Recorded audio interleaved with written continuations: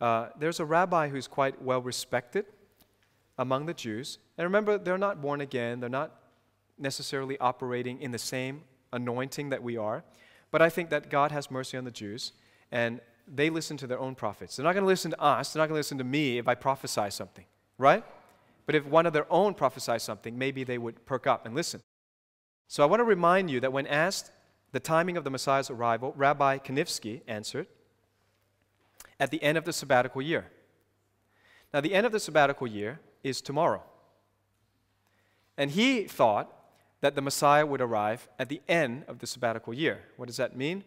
Well, the end of the Shemitah or the sabbatical year is tomorrow, Elul 29.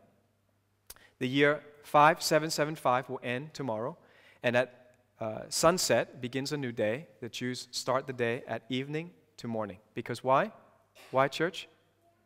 We always go from morning to night, but the Jews don't. The Jews always go from night to morning. In the book of Genesis, and the evening and the morning was the first day, and the evening and the morning was the second day, and the evening and the morning is the third day. Why? Because in Christ Jesus, we always move from darkness to light. Outside of Christ, you always move from light to darkness. So the whole Gentile calendar is moving them into darkness. The Jewish calendar moves us into light. See, it always has meaning that points to Jesus Christ. Everything points to Jesus. So tomorrow at sunset will be the start of the Jubilee year. Now, people argue about, you know, the Jewish count and all that. Okay, I'm not going to argue about that. I don't know. I don't know who's counting right or wrong, but the official count right now is that tomorrow at sunset starts the Jubilee year. I'd get a menorah, I'd light a few candles, I'd celebrate Jesus, I'd have communion at home, I'd be praying in tongues tomorrow. Uh, if the rapture happens and you weren't praying in tongues and praying in tongues was the qualification, you're going to be very sorry, okay?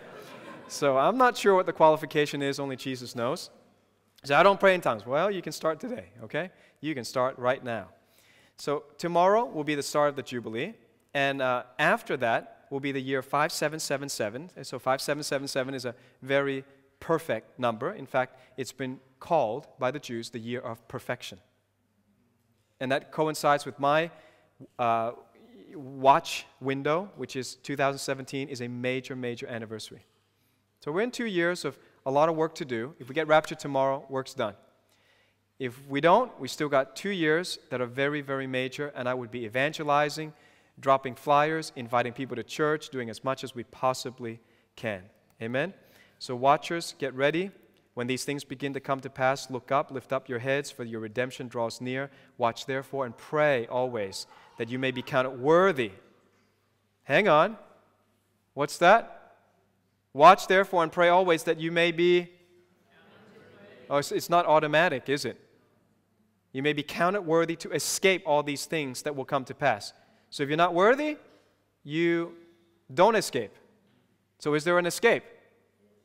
Apparently there is. I don't know what the dispute is. He says, if you're worthy, and worthy means you've been praying and watching, guess what? God has an escape. Why is that such a big debate? There is an escape. And what does that mean, escape? And to stand before the Son of Man. It's not just, oh, I don't want to suffer persecution. Persecution is all the time. Christians always get persecuted. But I get to stand in front of the Son of Man instead of go through, you know, police check and surveillance and the Antichrist passes draconian laws and, you know, going to church becomes outlawed because you preach against homosexuality and that's against the law. That's coming. So watch therefore and pray always. So pray tonight, pray tomorrow, and if I don't see you next week, I've preached a pretty good sermon. I hope Jesus is happy.